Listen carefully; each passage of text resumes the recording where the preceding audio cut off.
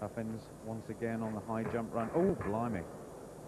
Well, I think he may have slipped there. If we see that on replay, the takeoff, well, it just didn't exist. That was his first failure at 2 meters 1 centimeter.